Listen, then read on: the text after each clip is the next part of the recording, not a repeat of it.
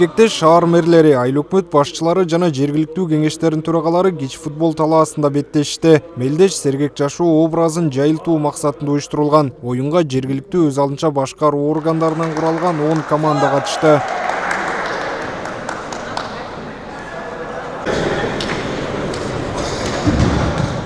жергиликтүү бийлик өкүлдөрүнүн даярдыгы мыкты болгондуктан ар бир беттеш курч мүнөздө өтүп жатты.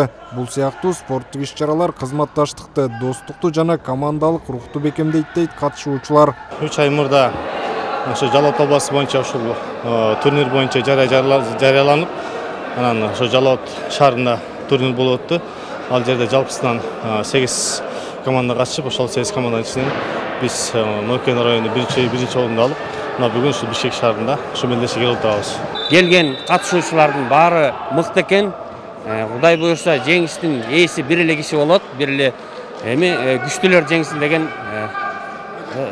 сөз айтмакчымын спорт ден соолуктун үлгү деп коет ошол ден соолукту чыңдоо максатында анан ушу мамлекет кызматчыларынын баягы ынтымагын ынтымакка чакыруу максаты болуп эсептелет. Мындан ары дагы биздин агенттик ушундай буну жанагы салт катары жыл сайын өткөзүп турууга биз ушундай максат коюп атабыз. Турнир спортту даңазалоо менен сергек жашоого үндөйт ошондой эле республикадагы жергиликтүү өз алдынча башкаруу органдарынын ортосундагы ишти активдештирүү отчеттоо гана эмес спорт аянтчасында да беттешип күч сынашуу максатын көздөйт бүгүнкү иш чаранын да максаты ынтымак достук биримдик мына ошол эле учурда ушул жергиликтүү өз алдынча башкаруу органдардын жалпы кызматкерлерин ушу сергек жашоого үндөө ал эми мынакей ушул жеринде элге түз кызмат кылган бул жергиликтүү өз алдынча башкаруу органдары мамлекеттин пайдубалы жергиликтүү өз алдынча башкаруу орган деп айтабыз. Ошол эле учурда мынакей ушул бийликке болгон ишенич да ушул жергиликтүү өз алдынча башкаруу органдарынан башталат.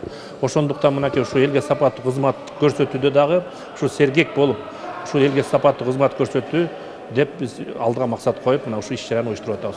Алгачкы ирет уюштурулуп жаткан жергиликтүү өз алдынча башкаруу кубогу турниринин байге фонду жүз миң сомду түзөт андан сырткары мыкты чабуулчу мыкты коргоочу сыяктуу номинацияларда атайын сыйлыктар каралган. Биринчи жолу уюштуруп атабыз.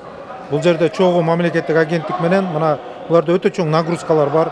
Ошо менен дене тарбияны да чыңдап буларды да бири бири менен достук баягы спорт иш чараларын аралаштырып эме кылалы деп уюштуруп атабыз. Призовой фондду союзубузду мына бүгүн көтөрүп берип атабыз. Э, биринчи орунга элүү миң экинчи орунга отуз миң жыйырма миң кылып. Андан башка дагы жакшы чабуулчу э, дарбазачы э, жакшы ошол оюнчуларга дагы приздерибиз болот айта кетсек иш чара президенттин инсандын руханий адеп ахлактык өнүгүүсү жана диний тарбиясы жөнүндө жарлыгын ишке ашыруу максатында уюштурулган. Алдыда бул турнирди салттуу түрдө жыл сайын өткөрүп туруу пландалууда. Автандил бактыбеков келдибек уланбеков ств